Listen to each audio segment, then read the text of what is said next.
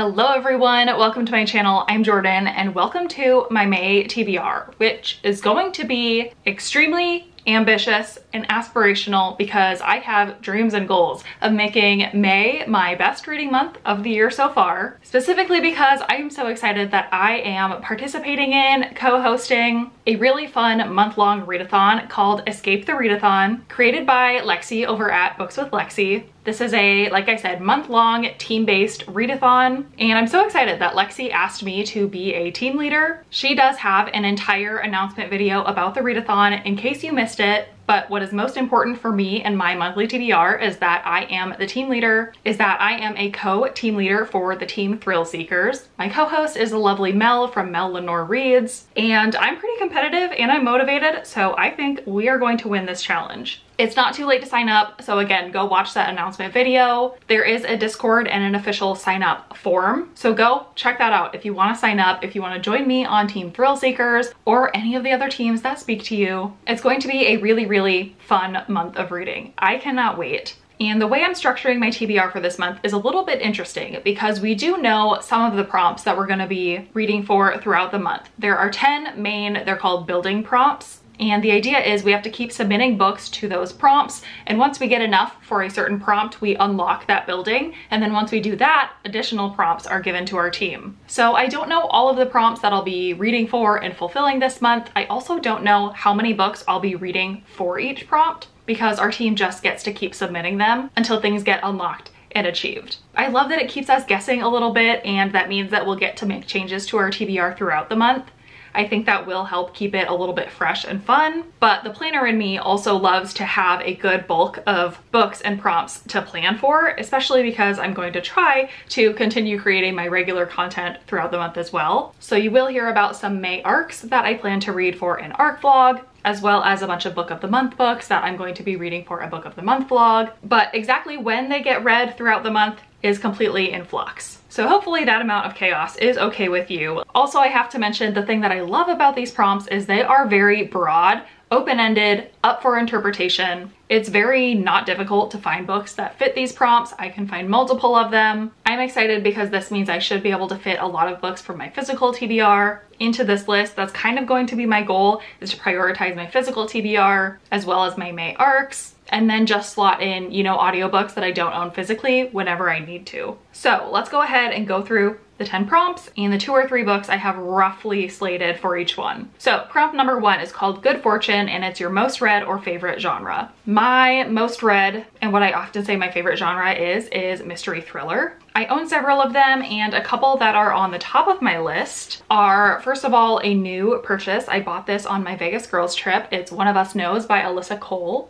This is the author of When No One Is Watching, which was another thriller that I did generally enjoy. She's also written a whole bunch of romance that I haven't read, but I'm excited to read her newest release. Don't know anything about the plot or anything other than that it's a mystery thriller. And then a mystery that I've heard a ton of great things about, Everyone in My Family Has Killed Someone by Benjamin Stevenson.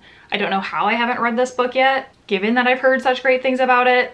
I think the sequel is already out now or like companion sequel or something. So I just need to get it read. May feels like the perfect time. All right, prompt number two is The Unfair Wheel and it's a book that's at the top of your TBR. Again, extremely easy to fulfill because honestly, every book on my physical TBR, if I pick it up to read for the readathon, it's at the top of my TBR.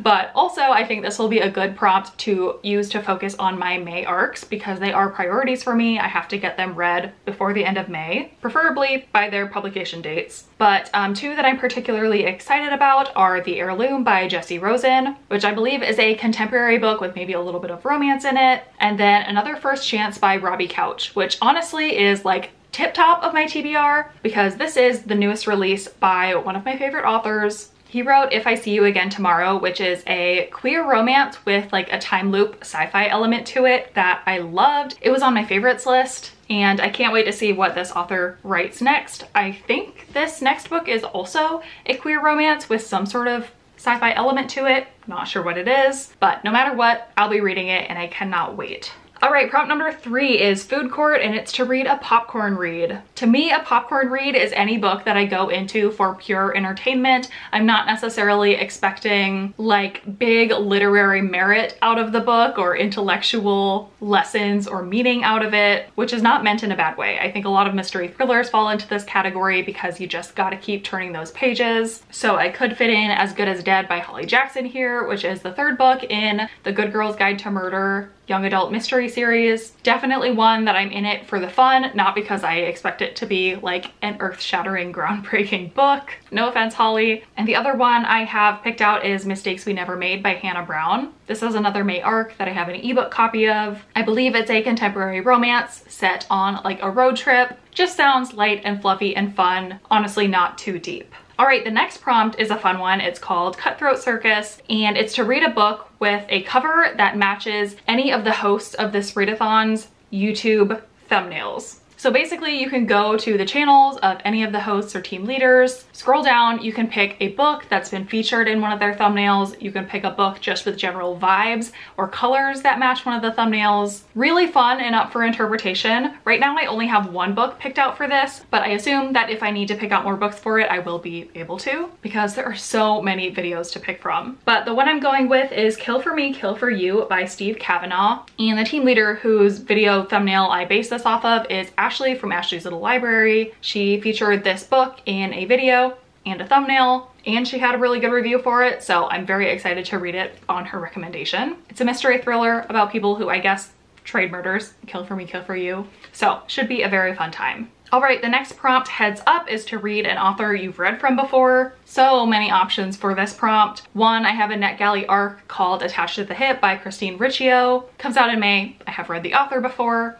So easy to fit it in there. I've also got another book of the month book, Family Family by Laurie Frankel. I have read two of this author's books previously, so definitely looking forward to getting to this one. And then another recent purchase and a very anticipated book for me, as well as a lot of other people, Funny Story by Emily Henry. I've read all of her other adult contemporary romances, so excited to get to this one as soon as I can. All right, then the next prompt we've got is horsing around and it's to read an intimidating read.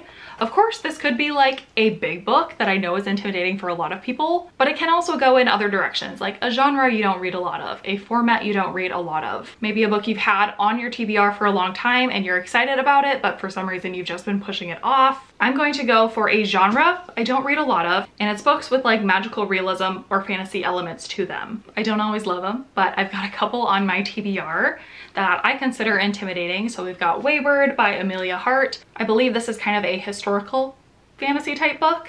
We'll see how it goes for me. As well as The Husbands by Holly Gramazio, which I think is more of a contemporary book, but it's about this woman who finds out that her attic keeps like spitting out new husbands for her. I don't really know what that's about. It sounds a little bit weird. Weird is not always in my comfort zone, so I'm considering it an intimidating read because of that. All right, then we've got Bullseye Battle, which is to read a new to you author. Again, so many possibilities for this prompt. I've got one more May arc that definitely fits in this prompt. It's Waiting for Friday Night by Synithia Williams. I believe this is an adult contemporary romance that's giving like a Southern football vibe. Never read from this author before, but have heard good things. Then we've got the prompt No Strings Attached, which is to read a book that a friend recommends. I'm really excited for this prompt because first of all, I could finally get to Love Redesigned by Lauren Asher. This has been personally recommended to me multiple times by my friend Gwen. Not only does she think I'll love it because I've enjoyed Lauren Asher in the past, but also this book was on her favorites list of last year.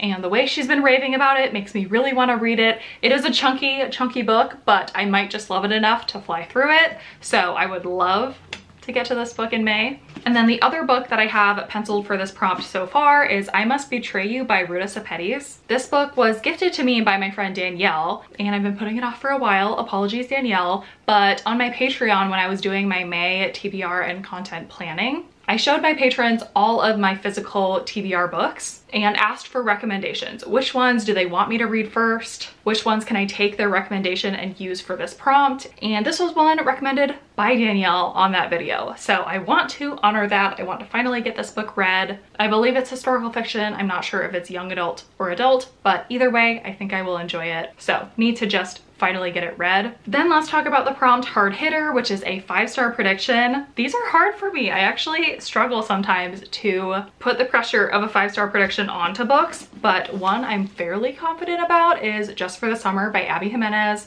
another contemporary adult romance. Abby Jimenez has just been on a roll recently. People are loving her. People are loving all of her books, but I feel like just more and more people love every book that she puts out. This one is no different. I've seen great reviews so far. Her last two books have been five stars for me, so if that trend continues, this should be five stars as well. And uh, yeah, how can I not read this book this month? All right, and then the very last prompt is Funhouse, and it's a poll pick. So basically you just have to put a bunch of books into a poll, have people choose which one you read. I am going to be doing this on Patreon throughout the month of May. So once I start prioritizing this prompt, I will pick books probably off of my physical TBR, unless I haven't gotten to all the arcs yet. But I'll put the options in there and then let the people choose once I'm actually ready to read that book. So could be any of the books that I already talked about, or some of the ones that are still sad sitting on my physical TBR shelf wanting to get read. And plus, like I said, there are so many prompts that I don't even know what they are yet that I'm going to have to read books to fulfill. As you can see, there's a lot in total. So who knows how many books I will end up reading in May. I've got no big travel plans for once in the last several months, which should allow me to just hunker down, read my books, stay in my routine. Let me know if you have read any of the books that I talked about and what your thoughts were on them, any that I should be particularly excited about. Also let me know if you're participating in this readathon.